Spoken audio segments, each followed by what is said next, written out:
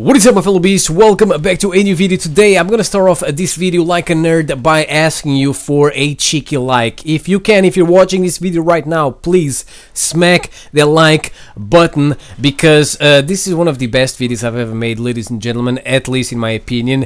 And uh, it took me a while to put this thing together, so a cheeky like would be very much appreciated also because the more likes this thing gets, the more exposure it will get and the more people will be able to see how beasts play Call of Duty. So everyone has a favorite weapon in the Call of Duty games. You know, that weapon you use all the time, that weapon you absolutely love. Some players love using the ACR, some players love using the grenade launcher, and some players love using the IED. Yes, ladies and gentlemen, the IED is some players' weapon with the most kills. I don't know how it is possible, but it is possible. My favorite is actually a combination of two weapons. I cannot use one without the other one, which is a shield a throwing knife or any throwing knife variant and it is about this little inseparable duo ladies and gentlemen I want to talk about today and I want to show you how they have evolved together in the Call of Duty games. So without further ado ladies and gentlemen the first shield that appeared in a Call of Duty game was in Modern Warfare 2 the Riot Shield. So this Riot Shield is you know, pretty much I would say 80% transparent. Then in the middle there is a black stripe. Uh, it's pretty simple but I absolutely love it. With the riot shield in MW2 when you hit someone in the face it stuns them for like half a second which is definitely very helpful for when you're trying to get those melee kills. When crouching it provides you great cover. I believe that this is the shield that allows you to really stay uh, safe when people are shooting at you. In other Call of Duties it feels that you get shot through the shield or it feels that your your your ass is sticking out and you get killed and you're like what what? How did that happen? I thought I was 100% behind cover. In MW2, that doesn't really happen. This shield has a very cool ability that no other shield has, which is that it makes you immune to stun grenades. So if a stun grenade explodes in front of your shield, you will be protected, you will not be stunned, and when you are using stun grenades, uh, you will not stun yourself. So this is definitely uh, very, very helpful for when you are trying to get those riot shield kills. The range on this riot shield is very,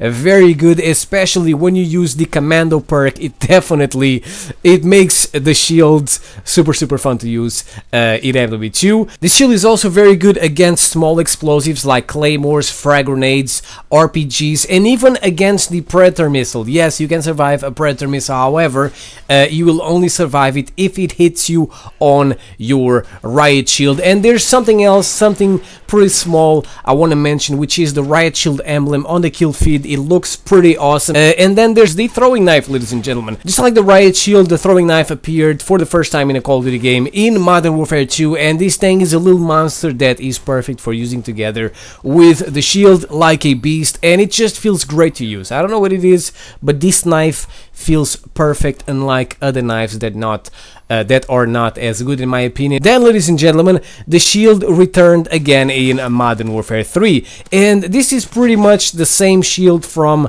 MW2 with a few upgrades and also a few downgrades. Everything else is pretty much the same. You still stun people for half a second when you hit them. Uh, you can still survive explosives uh, such as the RPG, the frag, the claymores, whatever. And the riot shield emblem is still the same from MW2. The upgrade that this shield received is that it came with two proficiencies, which are like two attachments. You cannot use both of them together, unfortunately, but you have the melee proficiency, which allows you to melee people faster, and you have the speed proficiency, which allows you to run for a much longer distance without stopping, which is definitely very helpful because you know that when you use the riot shield, you are slow like a goddamn turtle. And the downgrade is that uh, it it's not immune to stun grenades anymore, uh, which is definitely a shame. And the the range was reduced because there is no commando perk in Modern Warfare 3, but the default range in MW3 is still pretty good and still one of the best in the Call of Duty games. But if you don't want to use the Riot Shield weapon, you can use a kill streak that has the Riot Shield, which is the support Juggernaut.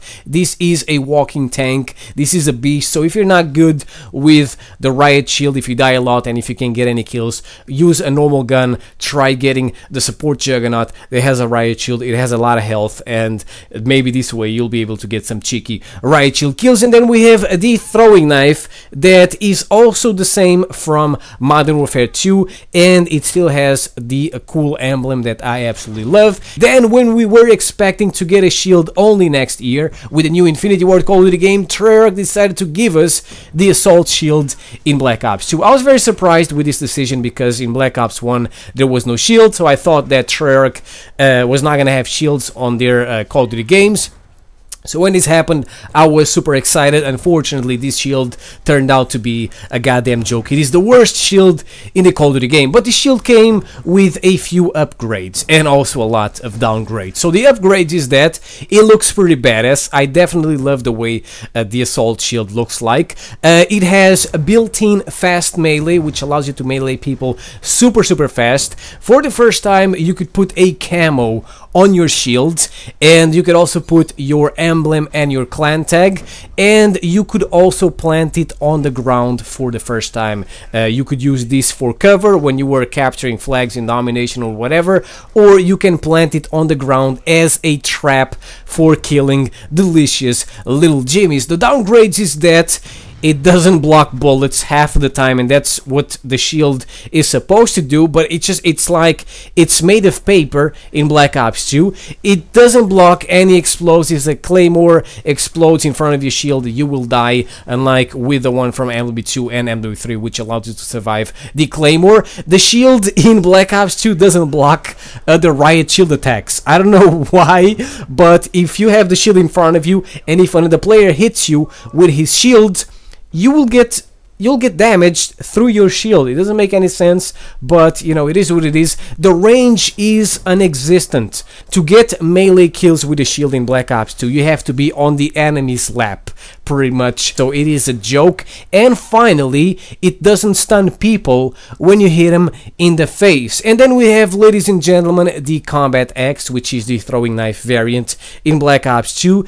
It's not as good as the throwing knife, but it's not that bad. It is usable. And as expected, ladies and gentlemen, the shield returned on the next year after Black Ops 2 in Call of Duty Ghosts. And this bad boy came with a lot of upgrades. And ladies and gentlemen, after that travesty in Black Ops 2 known as the Assault Shield, we needed a lot of upgrades. We needed the Great Shield in Call of Duty Ghosts. It is reinforced with a lot of steel, which makes it look super hardcore, super badass because of all that steel it is explosive proof it is the best shield against explosives. You can survive missiles of the attack helicopter you can survive one shot of the IMS you can survive pretty much all the other explosives. Uh, it came with three attachments the radar which is like a pocket UAV this is what I use most of the time the titanium frame for faster melee and finally the scrambler that uh, is garbage but uh, you know it can be fun to use. So this thing will jam people's radars when you get close to them.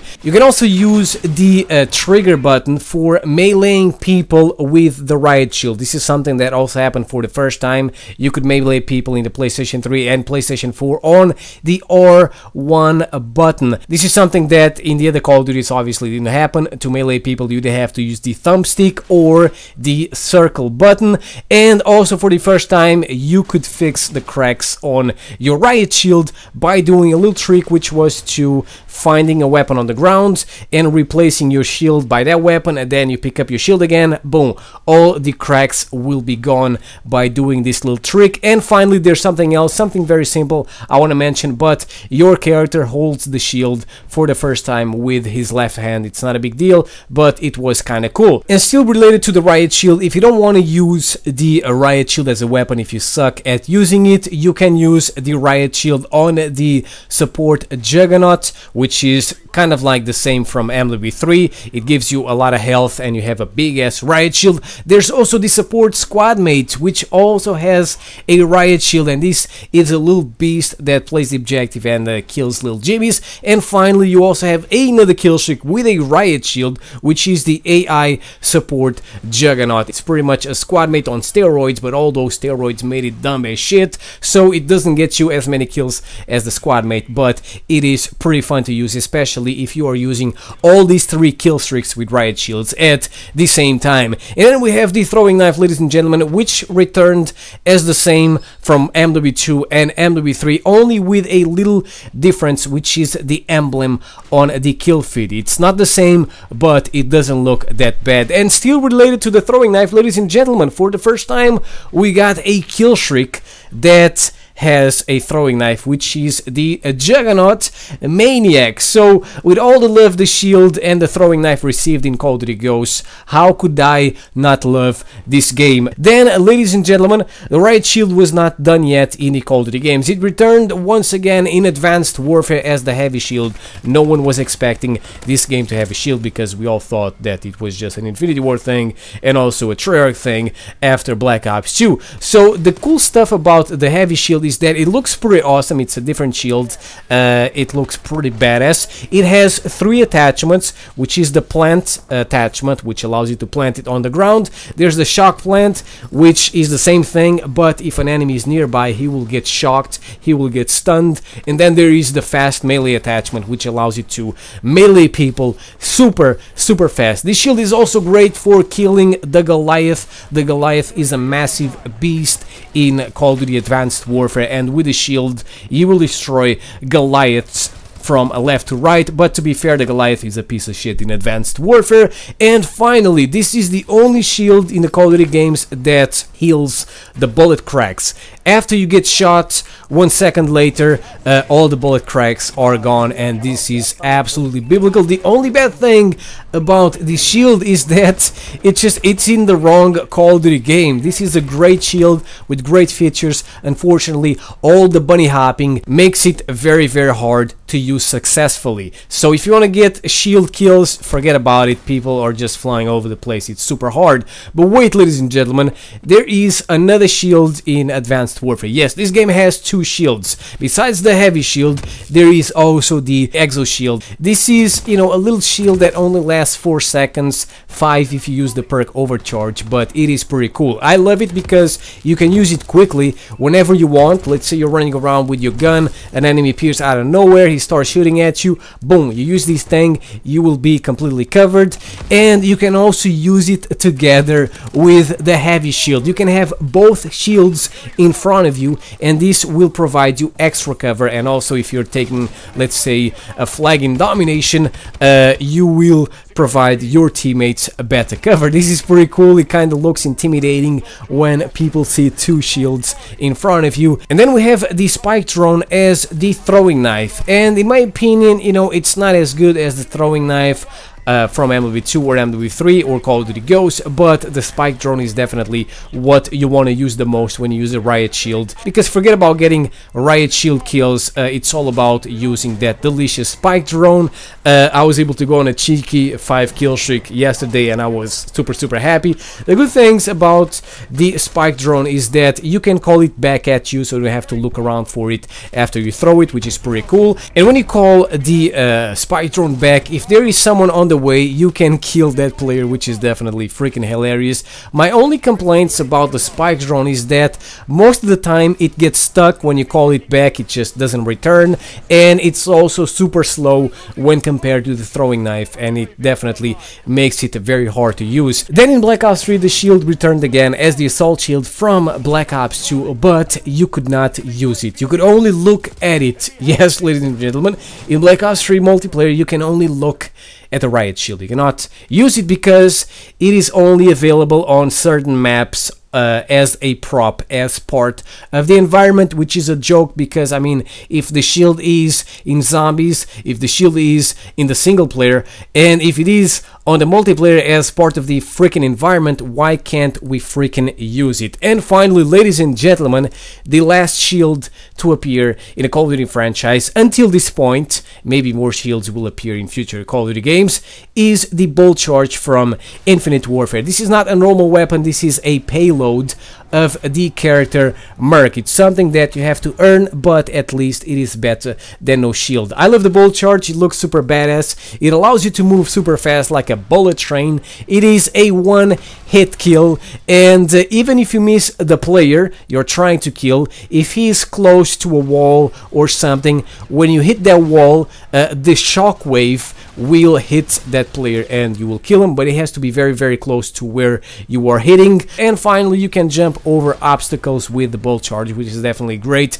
And in the beginning I didn't know about this so I wasted a lot of bull charges. Then we have the throwing knife which returned as the spike drone in Call of Duty Infinite Warfare which is a little drone that explodes on impact and it is definitely pretty cool because you make nerds disappear when you hit them in the face with this little beast. Unfortunately you cannot use it together with the bull charge. So there you go, ladies and gentlemen. This is the shield and throwing knife evolution in the Call of Duty games. Let me know your opinion in the comment section below about these beasts. Let me know which one is your favorite, if you use the shields or the throwing knife. And uh, yeah, thank you for watching. I hope you enjoyed this video. I'll see you next time. Peace out.